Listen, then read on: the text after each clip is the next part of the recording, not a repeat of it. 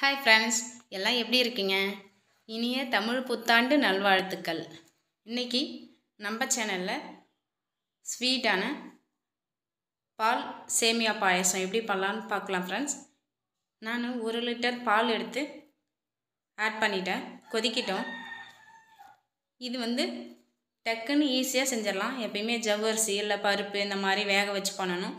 இது குயிக்காக ஒரு ஒரு அஞ்சு நிமிஷத்தில் சூப்பராக ரெடி ஆகிடும் எம்மையாக இருக்கும். நான் அப்படி எதுவும் பண்ண போகிறதில்ல ஒன்லி பால் மட்டும் போட்டு கொதிக்க வச்சுருக்கேன். பாருங்க பால் பொங்குது. இந்த ஸ்டேஜில் பொங்குற மாதிரி கலக்கி விட்டுடலாம்.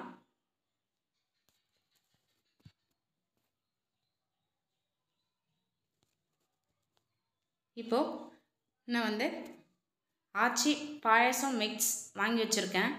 அதை ஆட் பண்ணிக்கிறேன். எல்லாமே அதிலே இருக்கும். நம்ம எதுவுமே சுகர் கூட ஆட் பண்ண தேவையில்ல. எல்லாமே அதிலே இருக்கும். பாதாம் முந்திரி ஏலக்காய் திராட்சை சேமியா சுகரு எல்லாமே இருக்கும். அதான் நான் மிக்ஸ் கலவையாக இருக்குதுன்னு சொன்னேன். பாருங்கள் இதை போட்டு ஒரு ரெண்டு நிமிஷம் வெந்தாலே போதும். அந்த சேமியா வேகிறதுக்கு மட்டும் டைம் விட்டால் போதும். பாயாசம் ரெடி ஆகிடும் இன்றைக்கி நாங்கள் கோவிலுக்கு போகிறதால சிம்பிளாக பாயாசத்தோட இந்த ஸ்வீட்டை வச்சு நெய்வேத்தியம் பண்ணிவிட்டு கிளம்பலான்னு முடிவு பண்ணிட்டோம்.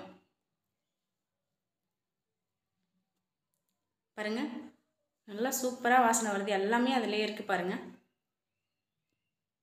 டக்குன்னு குயிக்காக ரெடி ஆகிடும் நீங்கள் இந்த பாயாசத்தை ட்ரை பண்ணி பார்த்துட்டு எனக்கு கமெண்ட் பண்ணுங்கள் எப்படி இருக்குன்னு.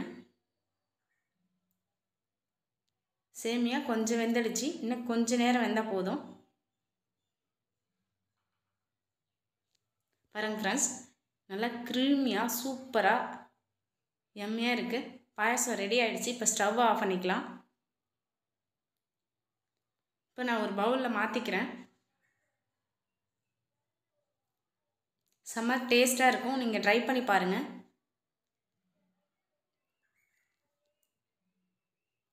இந்த ரெசிபி உங்களுக்கு பிடிச்சிருக்குன்னு நினைக்கிறேன். பிடிச்சிருந்தா நீங்கள் ட்ரை பண்ணி பார்த்துட்டு எனக்கு எப்படி இருந்துச்சுன்னு கமெண்ட் பண்ணுங்கள்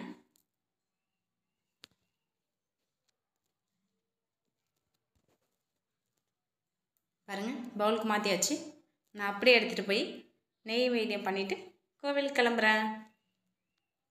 அம்மாவோட ஜாலியாக என்ஜாய் பண்ண போகிறோம் இன்னைக்கு. கோவிலுக்கு போயிட்டு ஃபேமிலியாக